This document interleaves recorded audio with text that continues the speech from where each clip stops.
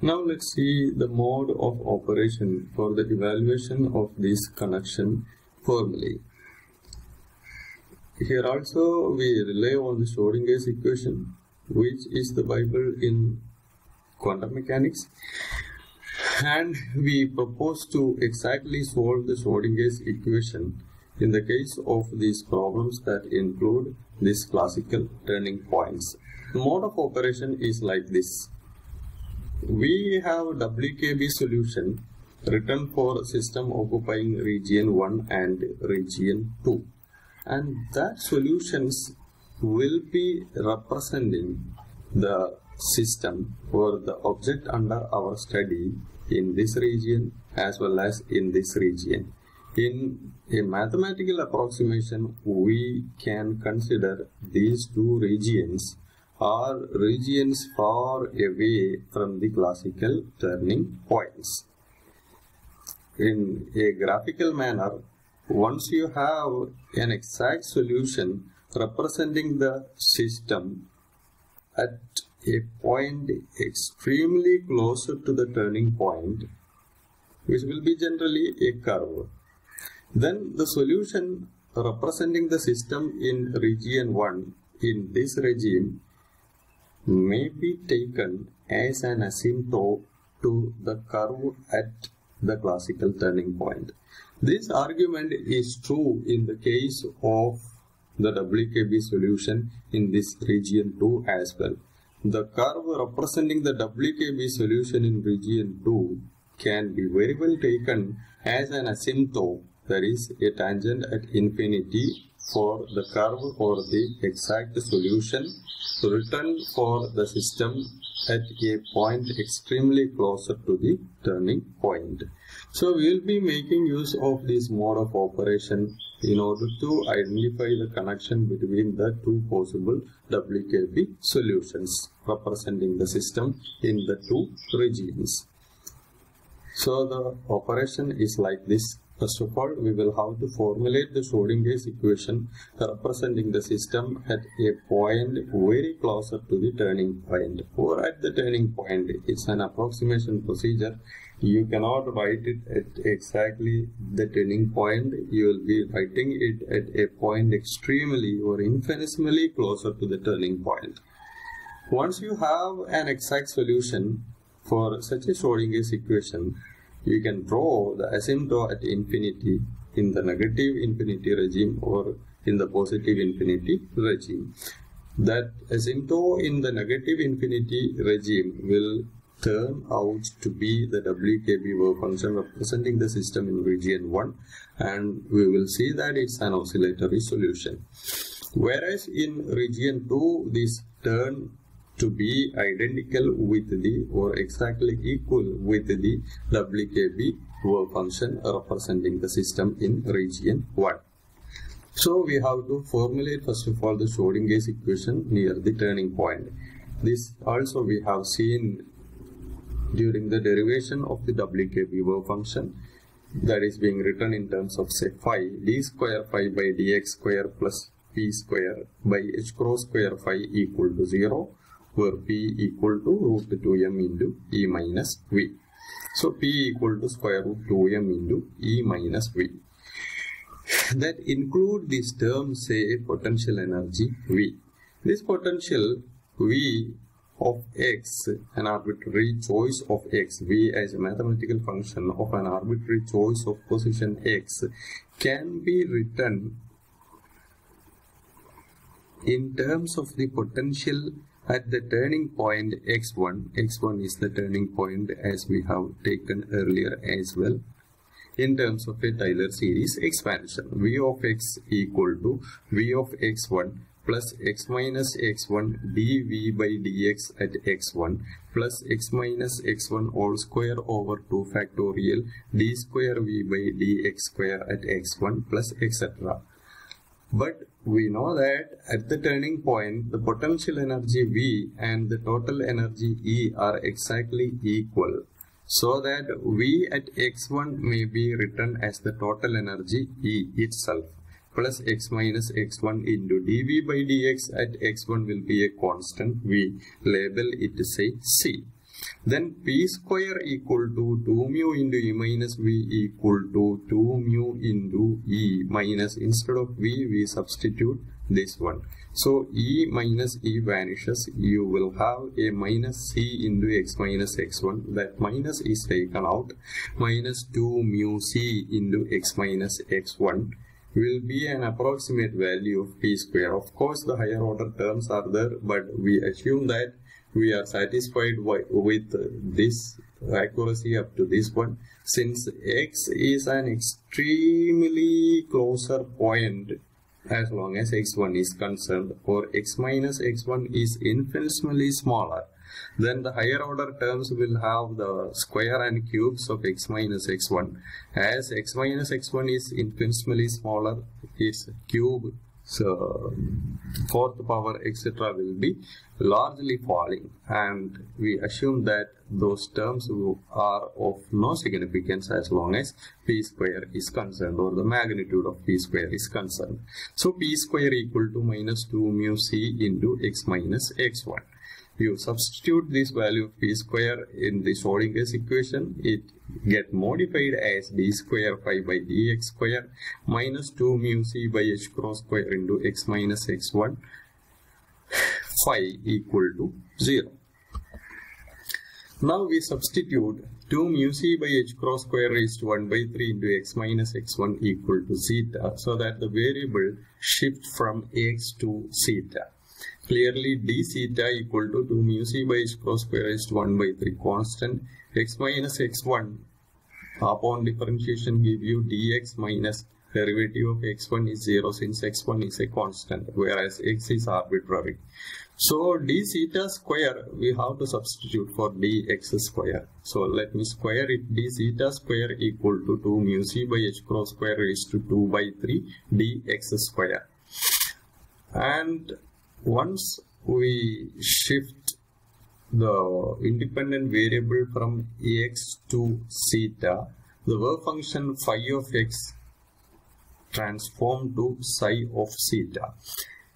Then d square phi by dx square may be written as d square instead of phi, I write psi of theta divided by dx square. See dx square from this equation dx square you take this term to the left side 2 mu c by h cross square raised to minus 2 by 3 d theta square. So dx square is substituted to mu c by h cross square raised to minus 2 by 3 d theta square. Minus 2 mu c by h cross square into x minus x1 uh, phi is shifted to say theta. Of course, uh, phi is phi is shifted to say psi of theta. Of course, this involved x. However, this is a substitution for the next step. I already have say theta here. So this term is retained in terms of x. However, this is not x term. This is a zeta term. That's equal to zero. Now we multiply the entire equation by 2 mu c by h cross square raised to minus 2 by 3 so that this denominator will be going and we will have this in the format d square psi of theta by d theta square. Minus is already there.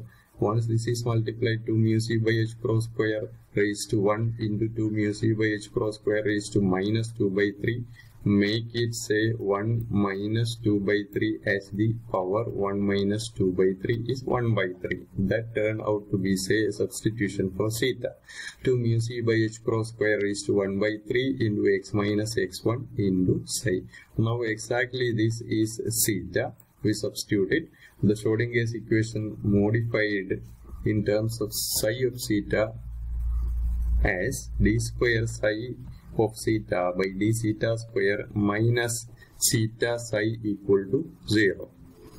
This is a special differential equation known as the Airy differential equation. Airy differential equation and uh, some of the special functions you have already discussed in the first semester of your study. However, Airy didn't come in those special functions. This is a special differential equation, Airy differential equation. The solution of Airy differential equation are known as Airy function and Baire function. So the solution of this equation can be written in terms of Airy and Baire functions and these solutions are given here. Airy function is represented as ai of theta which is given by 1 by pi integral 0 to infinity cosine of s cube by 3 plus s theta ds. And the supplementary Airy function or supplementary solution always referred to as the Baire function. B-A-I-R Baire function given by 1 by pi integral 0 to infinity e raised to minus the same term with the with a negative symbol for the exponent e raised to minus s cube by 3 minus s theta plus sine of the same term s cube by 3 plus s theta ds. So these are the wave functions or mathematical functions or mathematical curves representing the system at the turning point.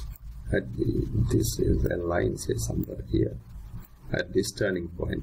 So at a point extremely closer to the turning point because uh, we take either the solution in region 1 or in region 2 the quantum mechanical region. So once you are considering a point say somewhere here or say somewhere here it is exactly represented in terms of Airy and Baire functions. Of course the most general solution will be a linear combination of these two solutions. But we never have an interest in this solution because it is the point at which the particle do have a momentum that vanishes.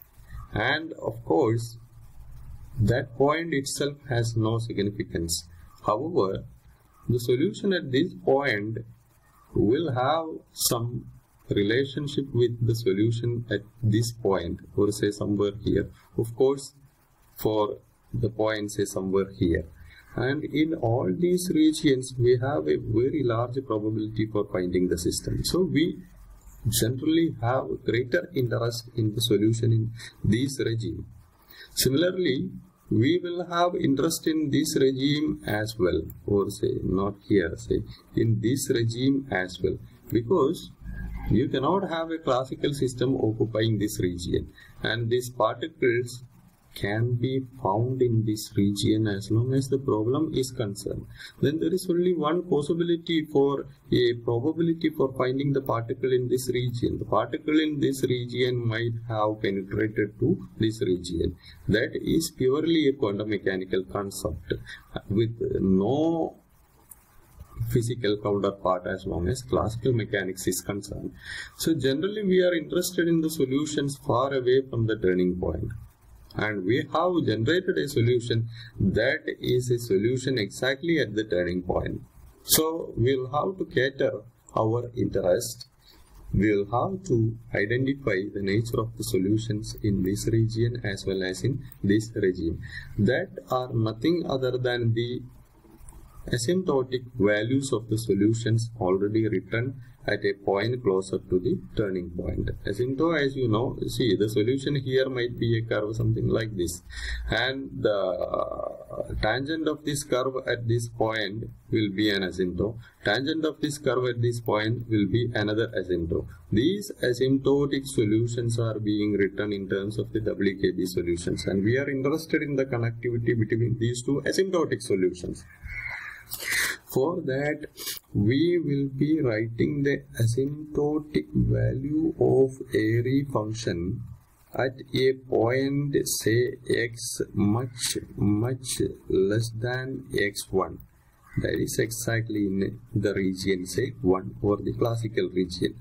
And of course you can write an asymptote of this curve Airy function at a point x much much greater than say x1 of course there will be a connection between this asymptotic solution in this regime and the asymptotic solution of a Airy function in this regime. The same mathematical procedure we can apply for the Baire function as well.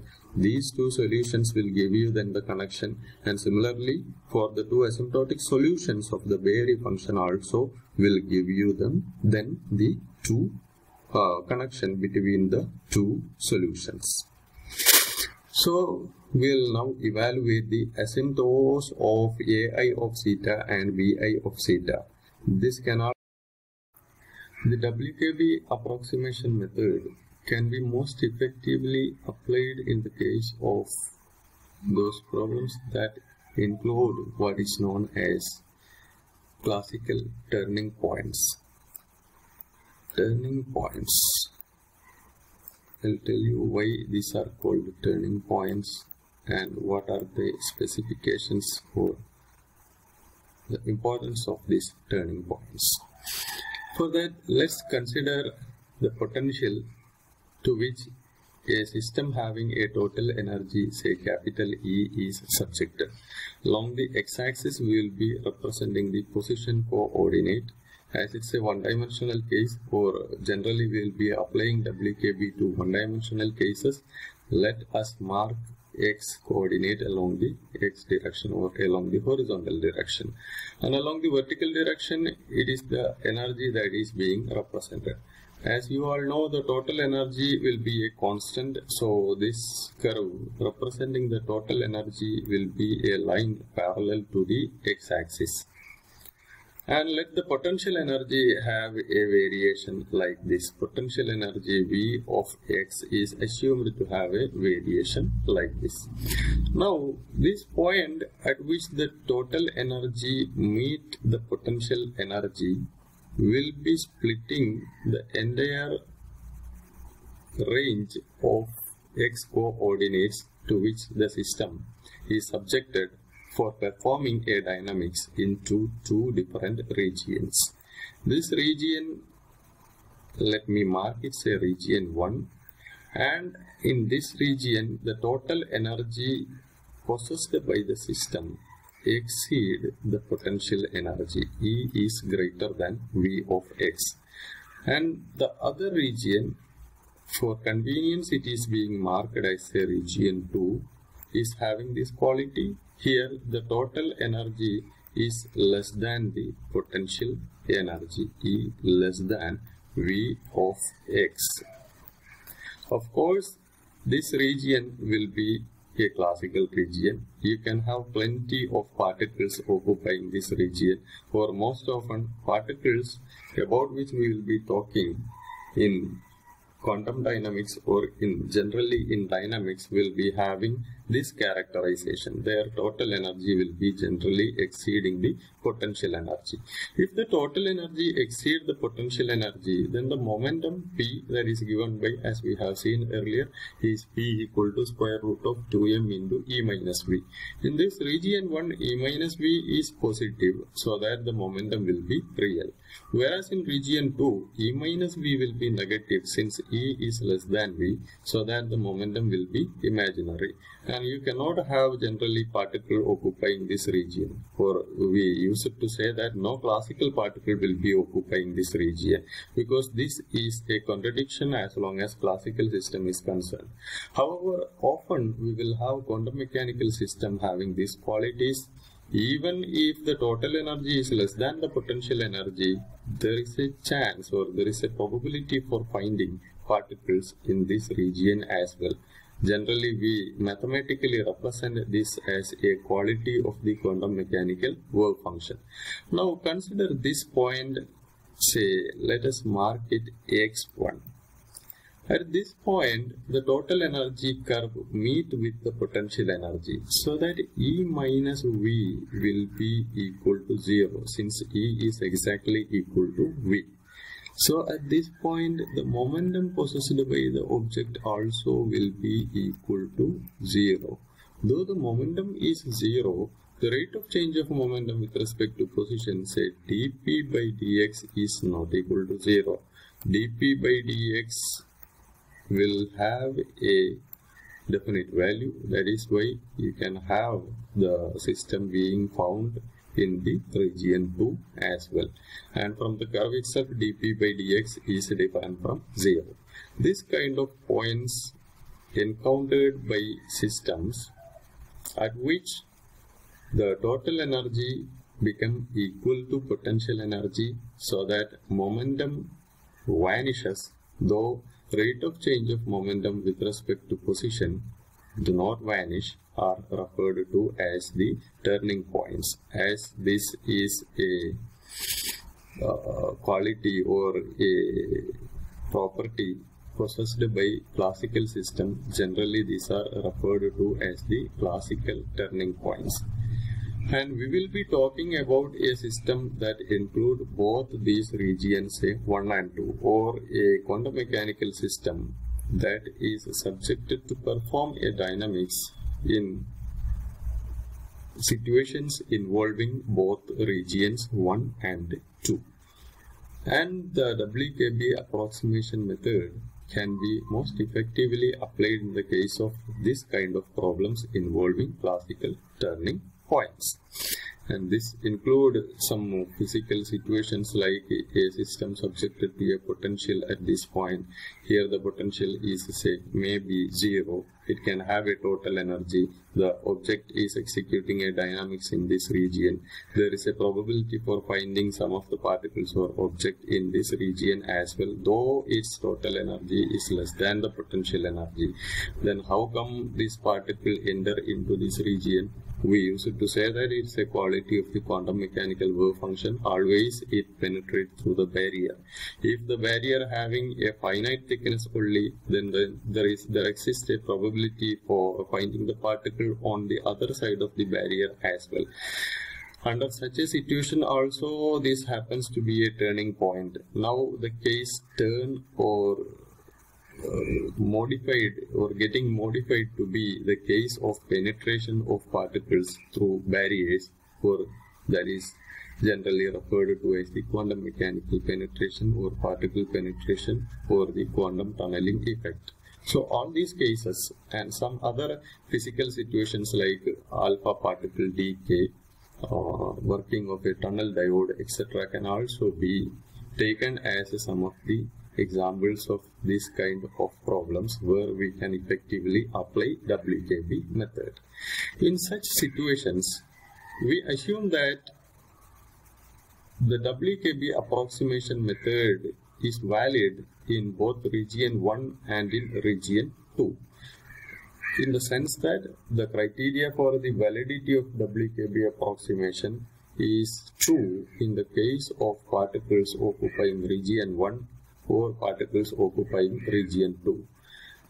That indicate that the system can be represented by a general WKB wave function written in region 1 and another general WKB wave function written in region 2. We have already seen how to write the WKB wave function in terms of the momentum possessed by the system at that particular region.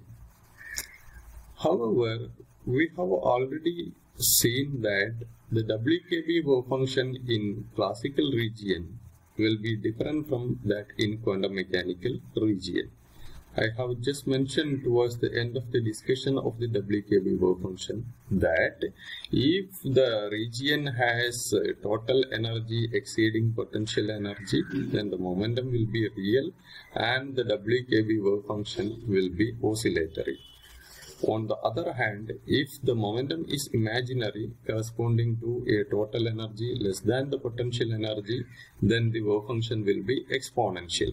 So, strictly speaking, in region 1, the wave function will be oscillatory since this is purely a classical region or since it is a region where the total energy exceeds the potential energy and the momentum is real. Whereas in region 2, where the potential energy exceeds the total energy, the region is, we used to say that it is purely a quantum mechanical region because no classical system will be occupying this kind of a region. The momentum will be then imaginary making the overall WKB wave function here already you have an imaginary square root of unity. Momentum also will be giving another i value. i square will make it say minus 1 and here this term to be say plus 1. So the overall WKB wave function written for the particle occupying region 2 will be a sum of a increasing exponential term and a decreasing exponential term. This term to be a decreasing exponential term and this term to be an increasing exponential term. And in region 1, the oscillatory solution can be represented either in terms of a cosine wave function or in terms of a sine wave function. Then, of course, we will be interested in identifying how these wave functions in the two regions are connected. That is, the WKB wave function that you write for the particle occupying region 1 is related to the WKB wave function that we write for the particle occupying region 2 are related to each other. Or more strictly, in region 1 the solution is oscillatory.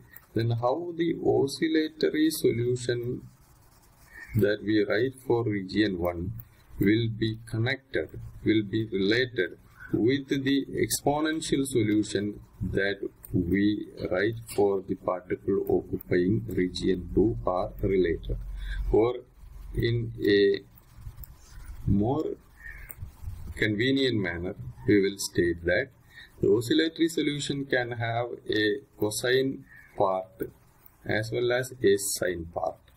How the cosine part will be related with the exponential solution can be an exponential decay or an exponential growth.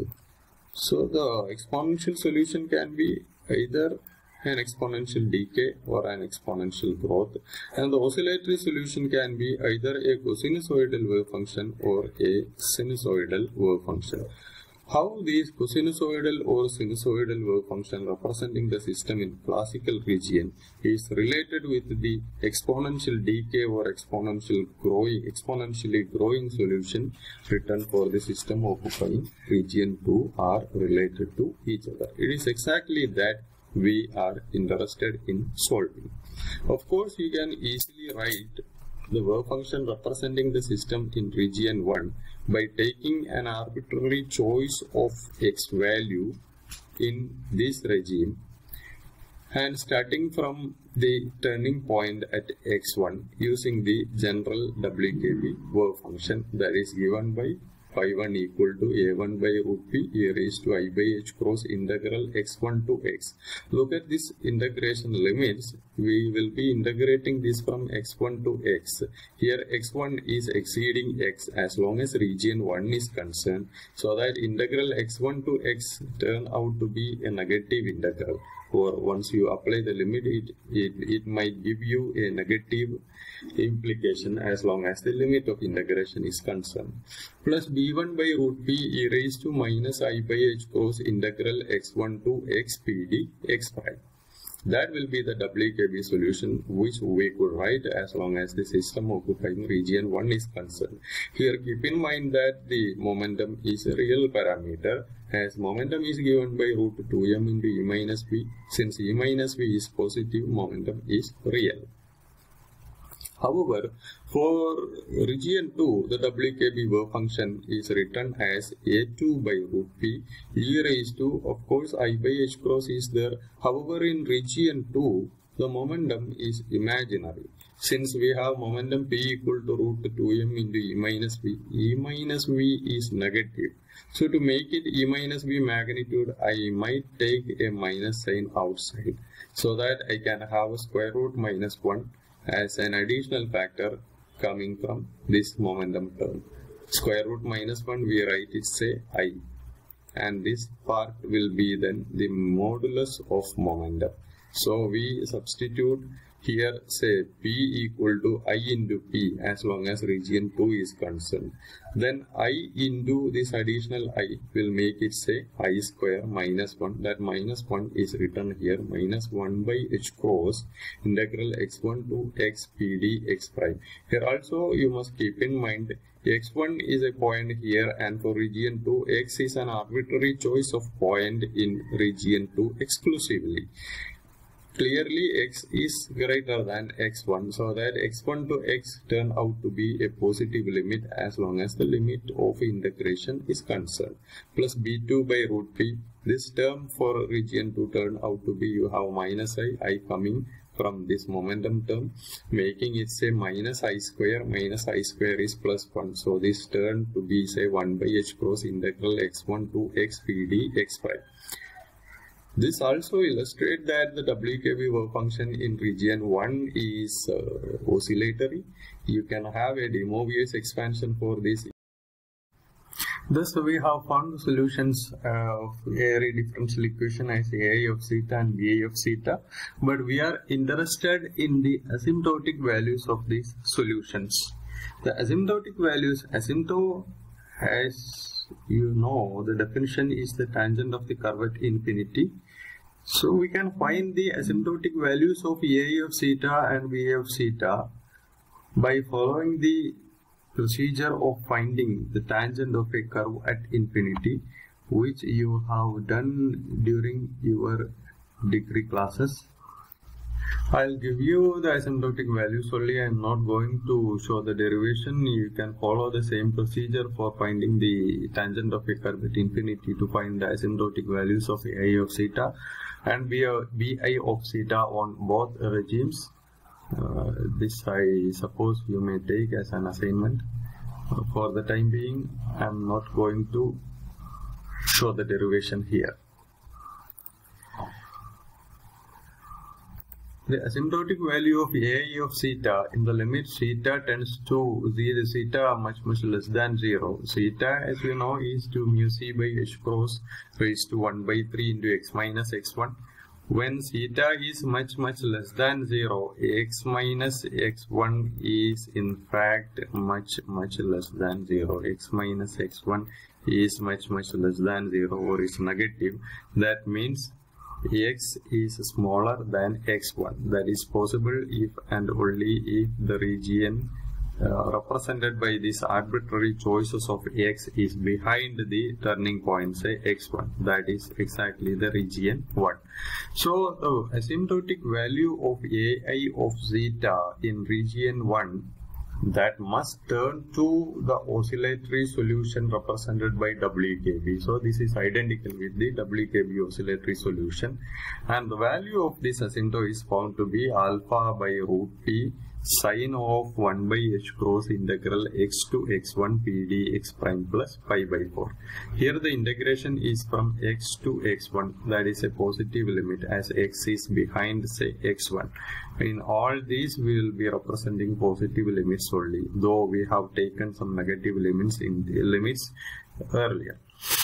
So this is the asymptotic value of ai of theta in region 1. Similarly, in region 2, asymptotic value of A of theta that must turn out to be the exponential WKB solution in region 2 theta is much much greater than 0 that means x much much greater than x1 so x arbitrary choice of x is say somewhere on the right side of x1 the turning point that is a solution corresponding to region 2 and the value of this asymptote is found to be alpha by 2 root p e raised to minus 1 by h cross integral x1 to x pd x prime here also x1 to x is a positive limit because we have region 2 x1 is behind x.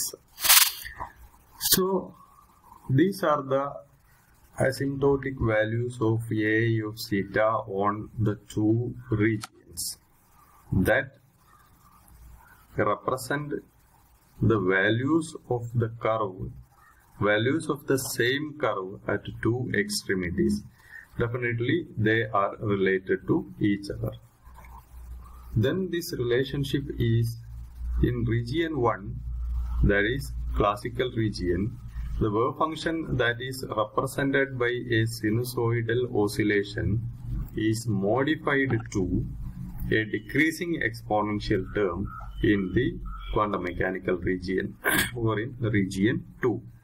With the constant multiplying the sine function in the oscillatory region becoming halved, becoming half of the coefficient of the decreasing exponential term. Similarly, the asymptotic values of Baire function are given here. Bi of theta in the limit theta much much less than 0, that is region 1. that should be complementary with the WKB oscillatory solution in region 1 and this value of asymptote is found to be alpha by root p cosine of 1 by h cross integral x to x1 p dx prime plus pi by 4. This is again positive. Here also this is positive. Similarly, the value of Airy function in the regime theta much much greater than 0 that should turn to be identical with the WKB exponential wave function in region 2 in the limit x much much greater than 0 is found to be alpha by root p e raised to 1 by h cross integral x1 to x pd x prime. These are the two extreme values of one and the same curve. So they are identically related to each other. This gives us the second connection between the two WKB wave functions. The WKB wave function represented by a cosinusoidal oscillation in the classical region become an increasing exponential term with the constant multiplying the increasing exponential exactly the same as that of the constant multiplying the cosinusoidal oscillation. Uh, in these expressions alpha is a constant given by 2 mu c h cross by pi cube raised to 1 by 6 so the asymptotic values of the two solutions give exactly the connection between the possible WKB solutions in the classical and quantum mechanical or rather than quantum mechanical I must tell you non-classical regions. And these are summarized for convenience like this. In classical region the solution is oscillatory. And the solution can be represented either by a sinusoidal oscillation or using a cosinusoidal oscillation in the non-classical region the solution is exponential and this exponential solution can be an exponential decay or an exponential growth. How these oscillatory uh, counterparts of solutions are related with the exponential counterparts of solution that is exactly what is known as connection formulae. This connection is like this the oscillatory solution represented by a sine wave function becomes a decreasing exponential term in the non-classical region with the constant multiplying the decreasing exponential getting halved comparing with the constant multiplying the sinusoidal oscillation in region 1. That is the first connection formula. Now the second connection formula. This is the first one sinusoidal oscillation get modified or sinusoidal wave function get modified as decreasing exponential and keep in mind that in this uh, oscillatory part there is an additional pi by 4 parameter that will be missing in the exponential term. The second connection formula is or can be stated as a the WKB wave function represented by a cosinusoidal oscillation in the classical region get transformed to an increasing exponential wave function in the non-classical region. With the constant multiplying the increasing exponential exactly the same as the constant multiplying the cosinusoidal oscillatory solution. So this is the connection formula. Keep this in mind. There are two points to be kept. Wave function represented by sinusoidal oscillation in the classical region becomes decreasing exponential decreasing exponential solution in the non-classical region with the constant multiplying the decreasing exponential just half of the constant multiplying the sinusoidal oscillation. The wave function represented by a cosine function in the classical region is modified as an increasing exponential wave function in the non-classical region with the constant multiplying the cosine wave function and the increasing exponential term being exactly equal. So these are the core points that are to be kept in mind as long as the connection formula is concerned. We will be making use of this formula for a few more derivations that are yet to come while we talk about the applications of WKB method within the limit of the demand of our syllabus. However, the overall WKB solution in region 1, I have written it in terms of an exponential uh, parameter with coefficient being i. I didn't represent this in this particular format. So this is to be represented for Uh, a comparison. Overall WKB wave function in region 1 is a1 by root p e raised to i by h cross integral x1 to x p dx prime plus b1 by root p e raised to minus i by h cross integral x1 to x p dx prime. That I will have to represent in this particular format. This exponent with i parameter needed to be written in terms of the sine and cosine terms that we will do in the next. For that, we make use of the De Moivre's expansion e raised to i theta equal to cos theta plus i sin theta, where theta being, uh, say, 1 by h cross integral x1 to x pd prime. So a1 by root p e raised to minus i by h cross integral x to x1 pd x prime I will be multiplying and dividing this term by e raised to i pi by 4. e raised to minus i pi by 4 is given here. e raised to i pi by 4 is also given here. And this is done for the second term as well. v1 by root p e raised to i by h cross integral x to x1 p dx pi e raised to i pi by 4 e raised to minus i pi by 4. This is the WKB wave function that we have taken which generally we write from x to x1 where x1 is the turning point as long as region 1 is concerned x to x1 is positive. It is in that positive manner we have written the asymptotic values of Airy and Vary functions as well. Now club these terms having this negative power a1 by root p e raised to minus uh, i is taken as a common term i into 1 by h cross integral x to x1 p dx prime plus pi by 4 e raised to i pi by 4 plus b1 by root p e raised to i into 1 by h cross integral uh, x to x1 p dx prime plus pi by 4 into e raised to minus i pi by 4. For the sake of convenience, let me label this quantity say theta here also as well as here. Then this is a1 by root p e raised to minus i theta e raised to i pi by 4 plus b1 by root p e raised to i theta e raised to minus i pi by 4. Now we substitute this De Moivre's expansion cos theta plus i sin theta. Here this is e raised to minus i, I minus i theta that is cos theta minus i sin theta. Here it is substituted cos theta plus i sin theta. Now there are two terms containing sine and two terms containing cosine. Club them.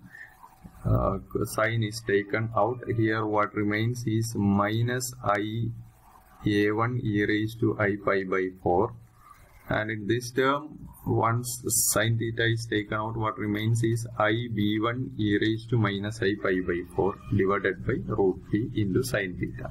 Similarly cosine term is taken out. What remains here is a1 e raised to i pi by 4 by root p. Root p is a common denominator. Plus uh, b1 e raised to minus i pi by 4 that is minus ia1 plus ib1 into e raised to minus i pi by 2 i have taken e raised to i pi by 4 outside by root p sin theta. And from this term e raised to minus i pi by 4 is taken outside. So that a1 will have a coefficient e raised to i pi by 2 that is minus i a1 plus b1 i into e raised to minus i pi by 2 is cos pi by 2 minus i sin pi by 2. Cos pi by 2 is 0. Minus i sin pi by 2 is 1. So here we will have minus i. And this term becomes a1 e raised to i pi by 2 is cos pi by 2 plus i sin pi by 2 that is i plus b1 e raised to minus i pi by 4 by root p cos theta. Now this is rearranged as minus i a1 plus b1 i into minus i minus i square that is plus 1 e raised to i pi by 4 by root p sine of theta is exactly this quantity 1 by h cross integral x to x1 p dx prime plus pi by 4 that is written here. Here also for cosine that is retained. Uh, this is another constant. Minus i a1 plus b1 into e raised to i pi by 4 may be taken as a constant